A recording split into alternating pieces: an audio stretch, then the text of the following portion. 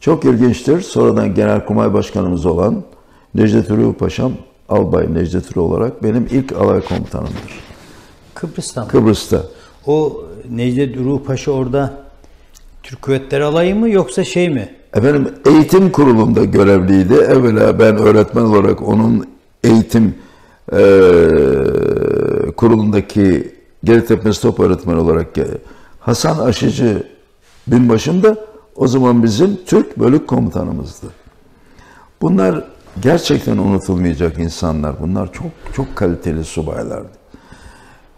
E, zabittiler yani. Hani Z'yi kaldırdığınız zaman abid insan vardır ya hiçbir şeyle satın alınamayacak. O zaman komutanım Kıbrıs ordusunda en rütbeli Türk komutanı kimdi Tuğgeneral Kıbrıs'ta. Kıbrıs'ta? Evet Tuğgeneral. Turgut Sunal'tı. Turgut Sunal şeydi. Alay komutanıydı Turgut Sunal ilk. Evet, Türk doğru. Kuvvetleri Alay Komutanıydı. Doğru. Bir de hani o Kıbrıs ordusundan bahsediyorum. Kıbrıs ordusunda hani sizin gittiğiniz Türk Kuvvetleri Alayı dışında orada Orada ordu- üçlü karargah vardı. karargah vardı. o üçlü karargahta bir generalimiz vardı. bir Türk vardı. Vardı bir de ama Rum, yani Rum'du. o- ama siz daha çok gene Türk alayıyla mı işli dışlıydınız o zaman? Türk alayına ben yüzbaşı olduktan sonra bölük komutanı olarak tayin oldum. Orada 1962'de yüzbaşı oldum Ve oraya tayin oldunuz. ve 4. bölük komutanı olarak. Orada kaldınız. Tabii öğretmen bölük komutanı olarak. Yani 1960-63 arasında. 63'ün 13 Hangi şeyde mi e,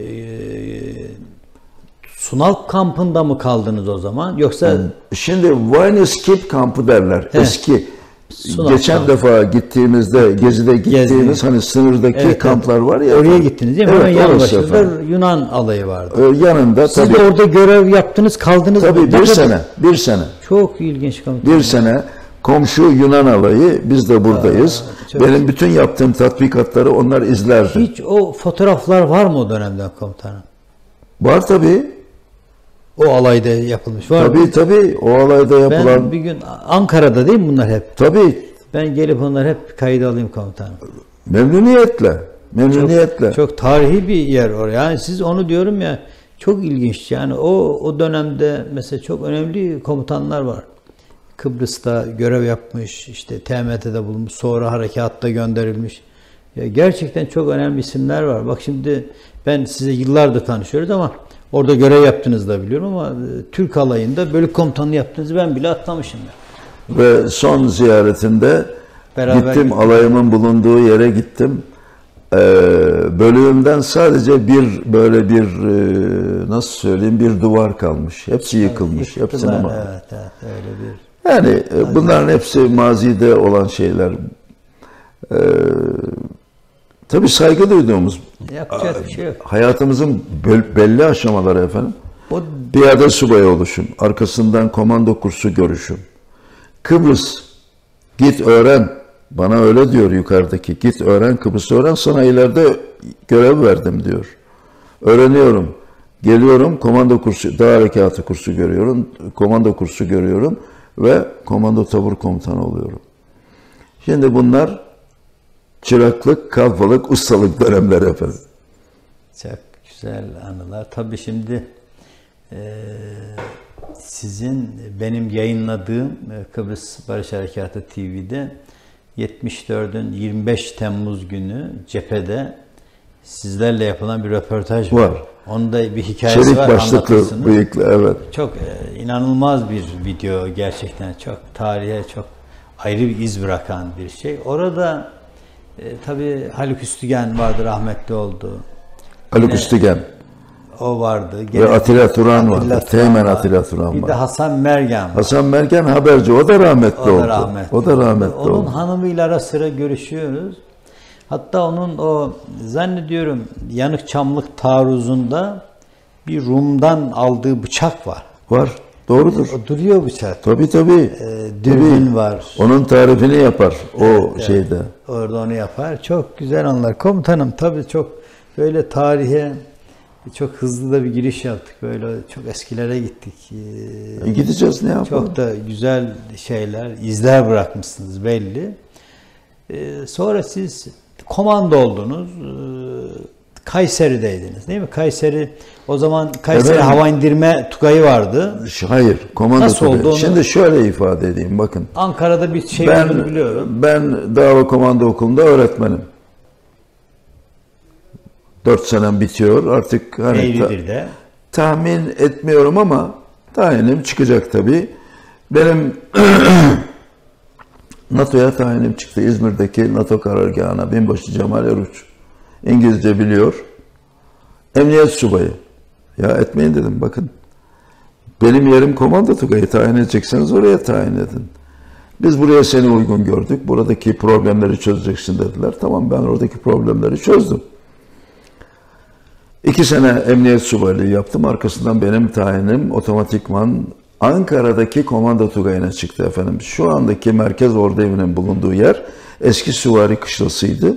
Ve komando tugayı orada kurulmuştu. İki komando taburu ve iki paraşüt taburu. Fakat şöyle ifade edeyim. Ben dağ ve komando okuluna öğretmen olarak tayin ol- olduğum zaman 65'te benim birinci komando taburum orada Eğirdir'de kuruldu. Bütün eğitimini tamamladı. Eğirdir'den Ankara'ya geldi ve komando tugayının çekirdek komando tabur kadrosunu teşkil etti. Onun üzerinden ikinci komando taburu kuruldu Ankara'da. İki tane paraşüt taburu kuruldu ve iki paraşüt, iki komando taburuyla hava, e, komando tugayı kuruldu. Ankara'da. Ankara'da. Ve ondan sonra tabii Ankara'nın merkezi artık yani Süvari Kışlası.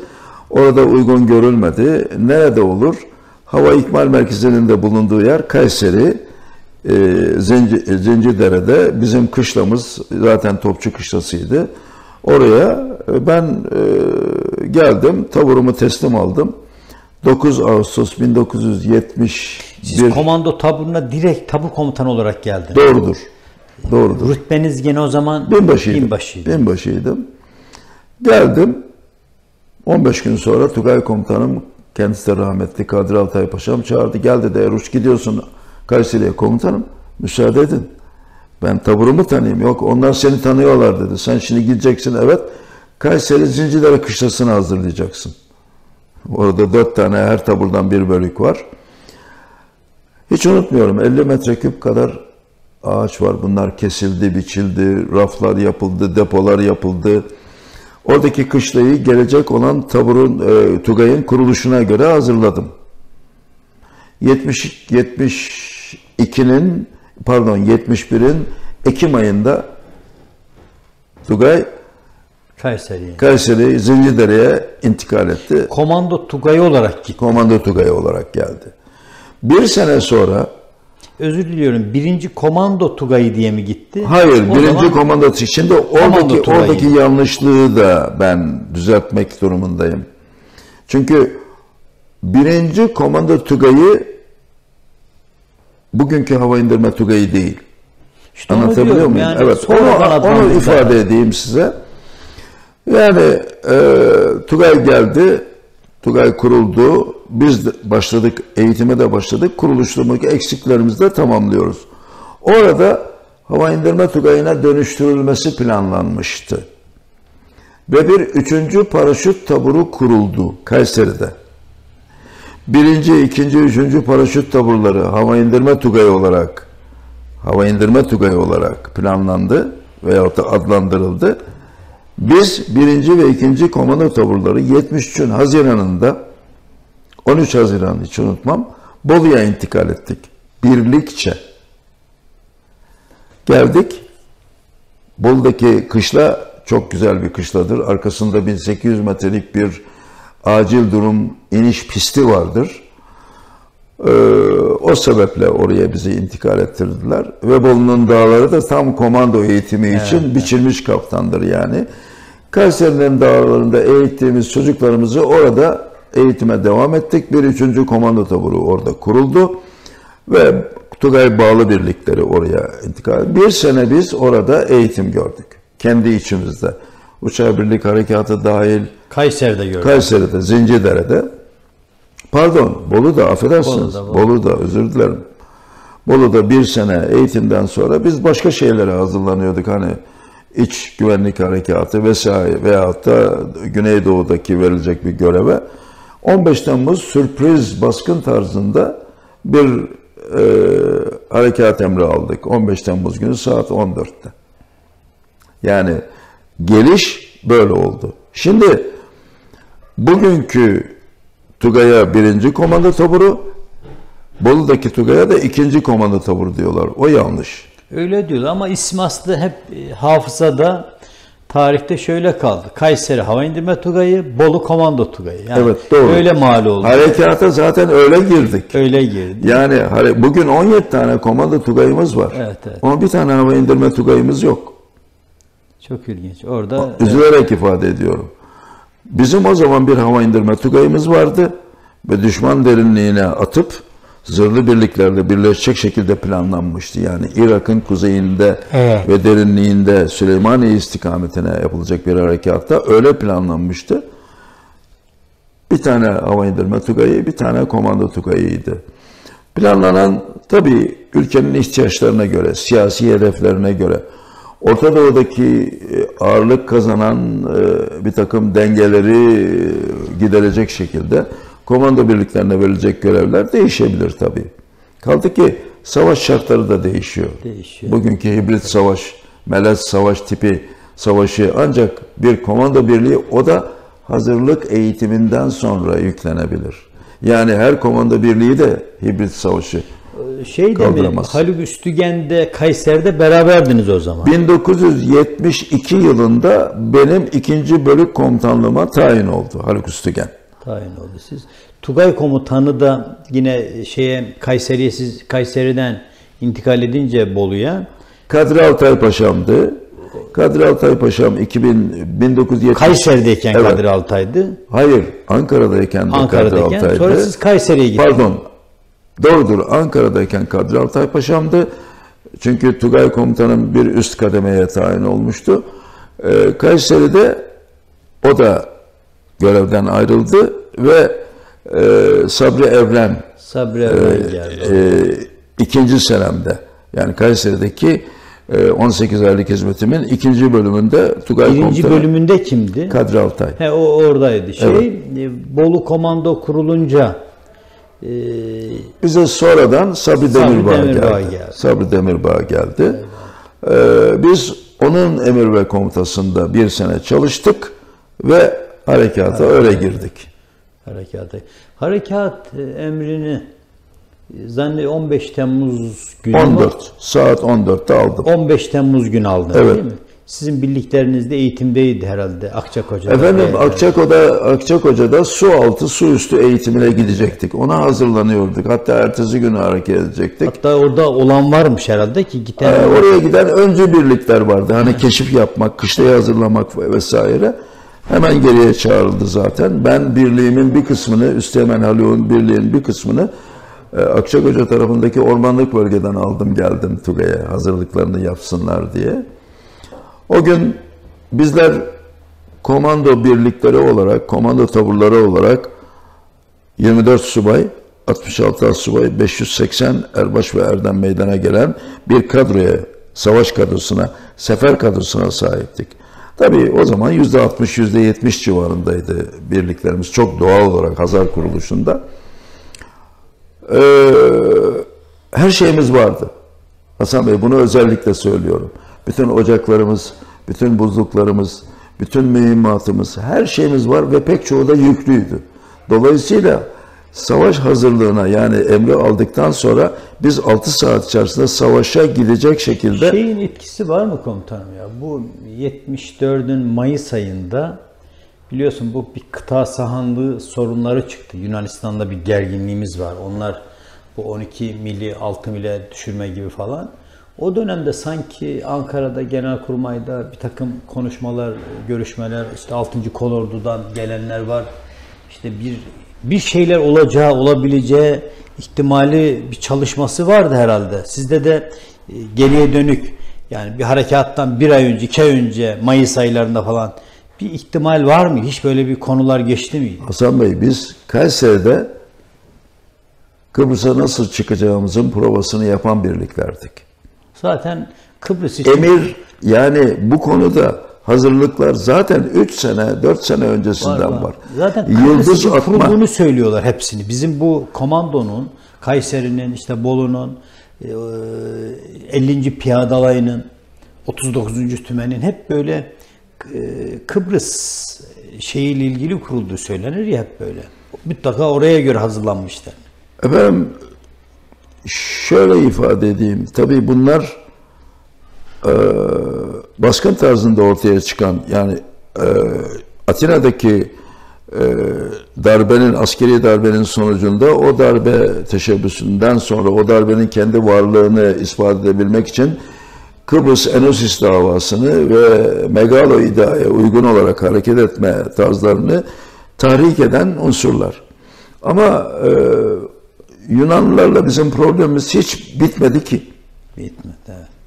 Yani 1791 Etnike Eterya bizim şirketin kuruluşu Odessa'da kuruldu Rusların takviyesiyle. Sonra 1829 Yunanistan bağımsızlığını kazandı. Ondan sonra biz adaları kaybettik. Mora gitti, adaları kaybettik. Batı Trakya gitti. Bütün bunlardan sonra benim anne tarafım e, Girit'ten göçtüler İstanbul'a geldiler. Girit, Bakın bunların hepsini benim ailem yaşadı. Ee, sonuç ben bunu abartmıyorum.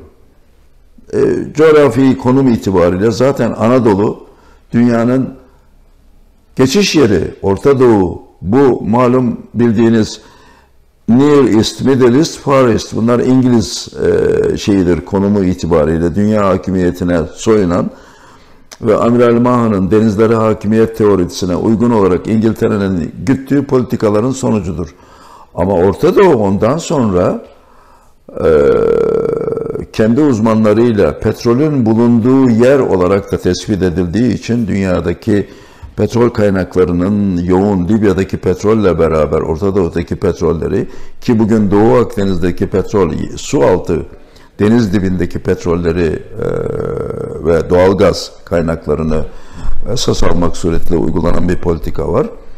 Daima ön planda bulundurulmuştur ve buna uygun olarak birlikler gerek askeri olarak kendi hazırlıklarını yapar, devletler ekonomik ve sosyal olarak da kendi hazırlıklarını devam ettirirler. Bunlar çok doğal. Ee, bizim de buna uygun olarak biraz geç kalmakla beraber hazırlandığımız bir gerçek. Örneğin bir sene önce Deniz Piyade Taburu kurulmuştur. Amfibi Evet, amfibi deniz piyade alayı kurulmuştur. Onun başındaki abimizi saygıyla daima anarım ben. Ee, onu Neşet kurmuştur. İkiz. Evet, Neşet İkiz ki maalesef şu anda Rahatsız. birazcık Alzheimer rahatsızlığı var. Tabii olabilir, hepimizin başına gelebilir. Yo ben geçen sene konuştum. Gittim bayağı uzun uzun çok şeydi. O şey değil de biraz yorgunluk var tabii. Akla da tabii, bayağı var ileri tabii. bir şeye geldi. Bunlar çok doğal Hasan Bey. Bunlar çok doğal. Olağanüstü bir olay değil. Olağanüstü bir olay değil. Yaşlanmanın getirdiği sıkıntılar. Ama mesele bizdeki birikimleri geleceğe intikal ettirecek şekilde e, sistemin bizi süzmesi, bizden bir takım değerleri alıp gençlere aktarması. Y- 27 Mayıs'taki konferansın da amacı buydu zaten. Kıbrıs'ta da yaptık biliyorsunuz güvenlik kuvvetleri. Tabii, tabii efendim. Onlara da aynı şeyleri biliyorsunuz. Siz yakinen zaten bu konuyu siz koordine etmeseniz kimse de sahip çıkacağı yoktu yani ona. O bakımdan sizlere şükranlarımı e, söylemekten gurur duyarım daima. E, Siz büyük emeğiniz var bu konuda. E, ama onlara da aynı şeyi Kıbrıs, Kuzey Kıbrıs Türk Cumhuriyeti'nin güvenlik kuvvetleri komutanlarında da sorumluluk, inisiyatif ve disiplin konularını ben ön plana çıkaracak şekilde oradaki subaylara, oradaki az subaylara yapılan, yaptığım konuşmalarda bunları da anlatmaya çalıştım. Mesele sorumluluğunuzun idraki içinde Büyük Atatürk'ün ifade ettiği gibi milli eğitime e, onun vasiyetidir. Diyor ki Büyük Atatürk, şu büyük insan belki bu heykel onun kalpağı hariç ona benzer tarafı yok da ben kalpağı Milli Kurtuluş Savaşı'nın sembolü olarak esas almışımdır. Ee, diyor ki Milli Eğitim Camiası'na, Türk çocuğuna göreceği tahsil seviyesi ne olursa olsun. Bakın bunu ısrarla vurguluyor. Göreceği tahsil seviyesi ne olursa olsun kendisine düşman olan unsurlar öğretilmelidir diyor.